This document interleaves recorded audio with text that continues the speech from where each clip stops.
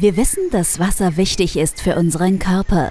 Aber hast du jemals darüber nachgedacht, wie viel Wasser du jeden Tag brauchst? Hm?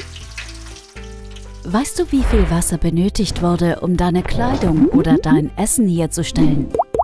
Alle Güter haben einen Wasserfußabdruck, der durch die Produktion entsteht. Dein persönlicher Wasserfußabdruck misst also nicht nur das Wasser, das du im Haushalt brauchst, sondern auch das Wasser für die Erzeugung deines Essens, deiner Kleidung, der Energie, die du verbrauchst und alle anderen Produkte.